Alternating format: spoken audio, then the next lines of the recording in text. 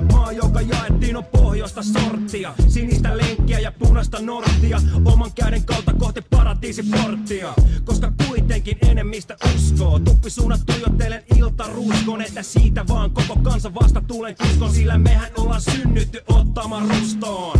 Se on vaan osa tätä kaalia. Kuka muu imee minuutissa kaksi maalia? Hei!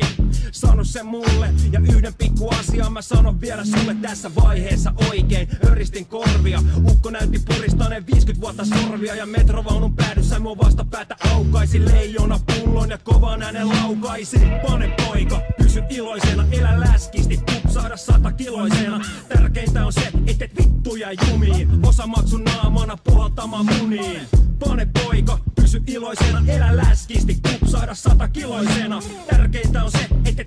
jää jumiin. Osa maksun naamana puhaltamaan muniin.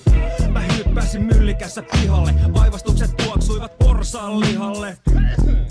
Helvetin hiini, onneksi Alepassa pidetään kylmänä. Vini ajat muuttuu, Sifi oli ennen Vimi. Ja metri pizza, voi vittu mikä nimi. Eipä silti, eläköön neste Cadillac. Arvutelin sen ja lihapiirakoiden välillä Kunnes päädyn ottamaan kummatkin. Ehtoona suurpiirteisesti summatkin. Toikin taitaa, muuten olla jonkun retkun sanalasku. Kuka ei oo kuitenkaan täysin tyhjä tasku Vaan perusnauris nenä, verisuonet pinnassa Ja liima laulaa hihan alta kylän tuolla linnassa. Siis tietysti se patu kuin äsken. Mä luulen, jonka äänen vielä korvissani käskemän kuulen.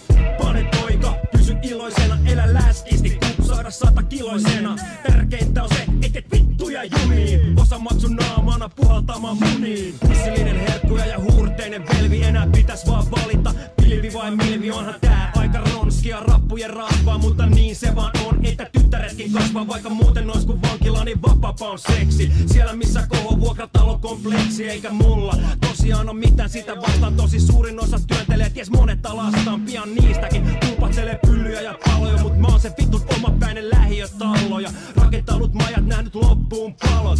Kesälläkin ikkunoissa jouluvalot kun pikku pöisiä Tasa uutta kadettikuolla venait naapurin äipältä. Loppusaunavuoro Sit pizza uunin bisse auki letti vähän vettä. Ja tunnin päästä eteisessä Marja-Leena sanoo että Pane poika, pysy iloisena, syö hyvin ja kupsaada sata kiloisena. Tärkeintä on se, et et vittu jää jumiin Osa maksun naamana puhaltamaan muniin. Pane poika, pysy iloisena, syö hyvin ja kupsaada